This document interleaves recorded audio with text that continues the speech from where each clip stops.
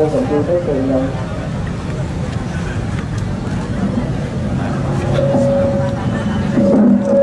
ខ្ញុំសូមជួយលោករងទុនសូមជួយមកលេខតាមបែបផ្លាយណាលោករងទុនណា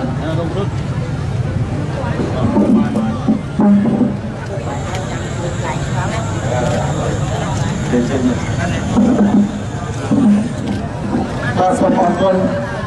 ខ្ញុំរងឈុន ជាមិត្តភក្តិលោកជាវិជាហើយក៏ជាដៃគូការងារជាមួយលោកជាវិជាជាច្រើនឆ្នាំមកហើយហើយថ្ងៃនេះជាថ្ងៃគម្រប់ខួប11ឆ្នាំនៃការបាញ់សម្លាប់លោកជាវិជាអ្វីដែលជាសក្តិប្រាថ្នា របស់លោកជាវិជាបន្ទាប់ពីមានការគម្រាមកំហែងយកអាយុជីវិតរបស់គាត់ទោះមានអង្គការសង្គមស៊ីវិលមានមុខភាគជំរុញយ៉ាងណាក៏ដោយក៏គាត់មិនព្រមចាក់ចេញទៅនៅប្រទេសខាងក្រៅដែរគាត់បានលើកឡើងថាគាត់នឹងធ្វើគំរូល្អសម្រាប់ពលរដ្ឋខ្មែរ ជាពិសេសសម្រាប់យុវជនខ្មែរយើងនៅកម្ពុជានេះហើយឥឡូវនេះយើងឃើញមានផ្លែផ្កាហើយ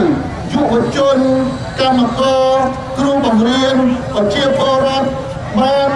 ងើបឡើងផលផុសដើម្បីផ្លាស់ប្ដូរមេផ្ដាច់ការនៅកម្ពុជាក្នុងនាមខ្ញុំជាមិត្តភក្តិ ក៏ដូចជាក្រុមការងារសូមធ្វើម៉េចអញ្ញាធរកម្ពុជាត្រូវតែស្វែងរកឃាតករបិទនិងអ្នកនៅក្រៅខ្នងឃាតករយកមកផ្ដន់ជាទោសតាមច្បាប់ហើយនឹងផ្ដល់យុត្តិធម៌ទៅដល់លោកជាវិជាដល់សញ្ញាតលោកជាវិជាក៏ដូចជាមិត្តភក្តិក៏ដូចជាប្រជាពលរដ្ឋទាំងអស់ ដើម្បីយុទ្ធធម៌ក៏ដើម្បីលុបបំបាត់នៅភាពយុត្តិធម៌ភាពនៅកម្ពុជាចាប់ពីពេលនេះតទៅខ្ញុំសូមអរគុណបាទសូមចំណាប់អារម្មណ៍ប៉ុណ្ណឹងតើចំពោះមកដំណើរប្រធានយុទ្ធរបស់ខ្ញុំ ព្រោះគាត់ធ្លាប់មានអនុស្សាវរីយ៍កាលពីឆ្នាំ2001ដែលគឺចាប់គាត់ដាក់គាត់នាទីហើយលោកជាវិជាធ្វើការសកចិត្តនិងអឺកោបានដើម្បីឲ្យលោកមកចំណាំលោកចេញពីការភូមិកាលពីឆ្នាំ2001គឺរឿងស្កាយព្រឹកបាទសូមអញ្ជើញលោកពូ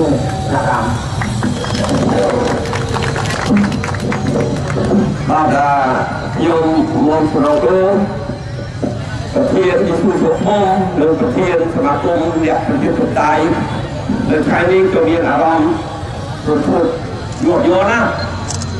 ដែលឃើញរូបចម្លាក់លោកជាវិជាដែលជាមិត្តរបស់ខ្ញុំ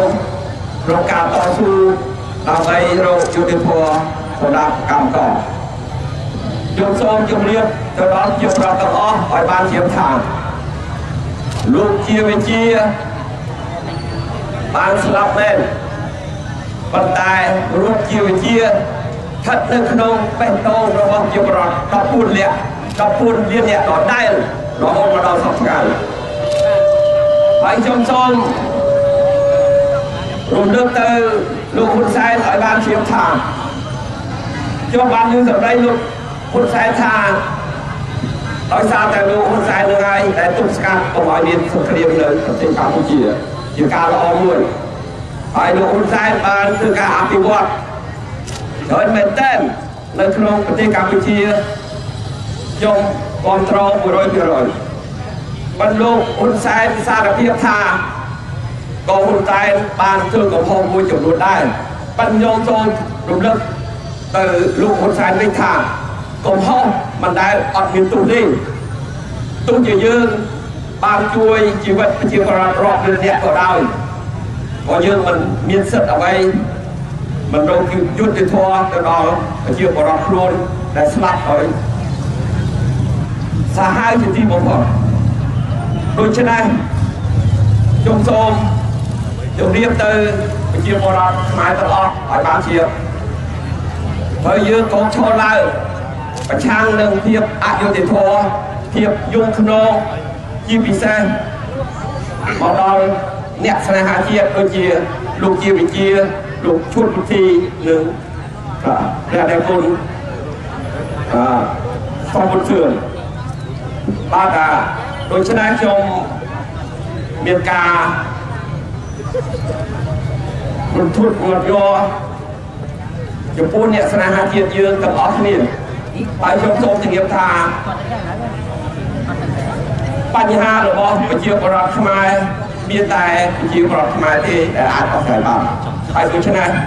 យើងកុំឲ្យបាក់ស្បា